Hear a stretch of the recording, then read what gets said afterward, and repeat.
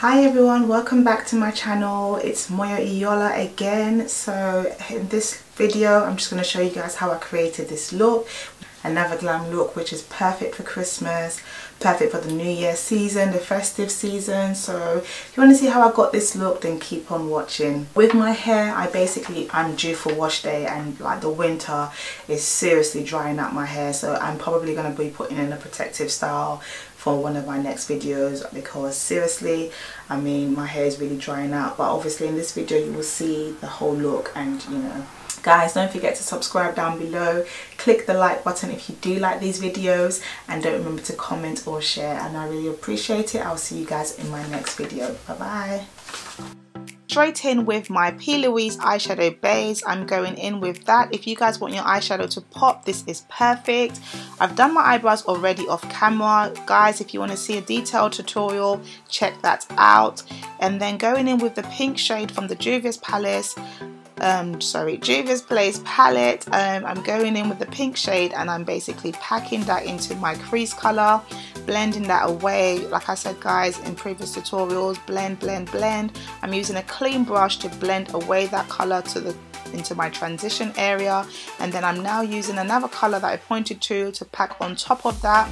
And I'm continuously blending that out then I'm going in with a brown in another Juvia's Place palette and I'm packing that into the inner and outer corner of my eyes and basically using that in the center as well to blend out that color and then obviously with my technique to find my crease I'm used the, I've used the P. Louise eyeshadow base again to basically um, pop in the middle in the center of my eyes because I want the eyeshadow that I'm going to put in that area to pop as well so I've gone in with that and that's what I'm using. A mixture of those two colors it seems I'm li literally probably packed I did pack all of that on top of that um, eyeshadow base and then I continued to blend that brown into the center and outer corners.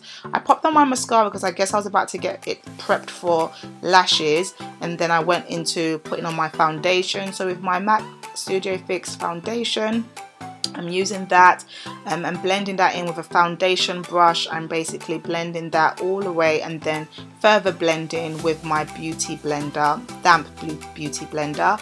Then I go in with my concealer by Colourpop my no filter concealer um, and then I'm basically applying that into those areas. And I've blended um, and I'm about to go in with my um, ebony bronze what is this called? Um, LA Girls conceal no black opal not LA Girls black opal stick foundation. I don't know where my head went just there. So basically this color is a bit darker. It's the ebony bronze color because um, I wanted my face to kind of like be a bit more dramatic this time around.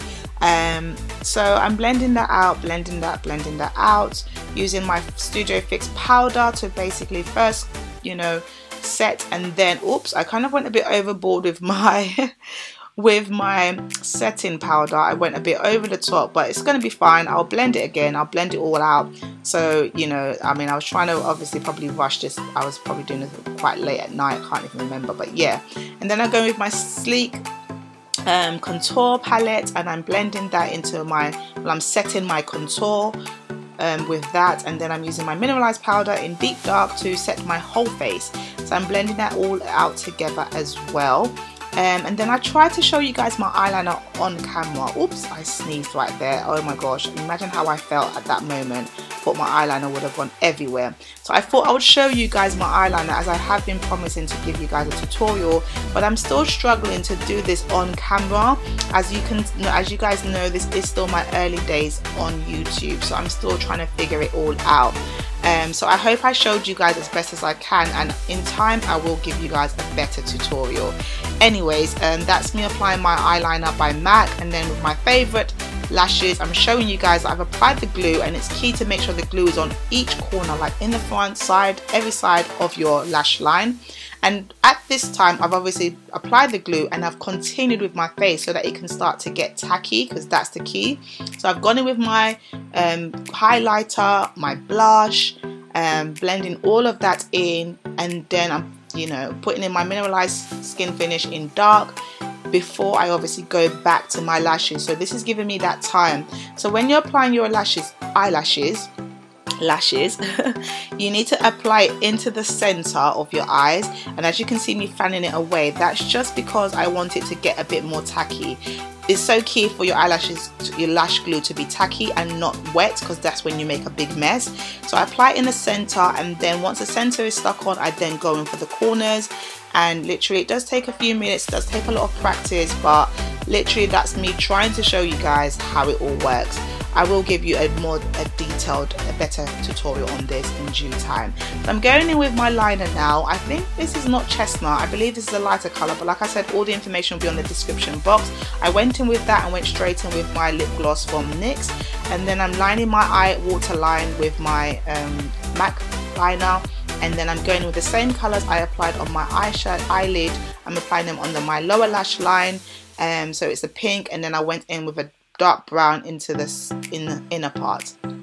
Um, and so that's it. I was just probably talking about my bonnet and how I love it so much, how it keeps my hair super moist. Um, I didn't know what I was going to do to my hair at this point. I literally just like sprayed it with water and thought, well, what can I do? And I created this hairstyle literally as I was filming this video.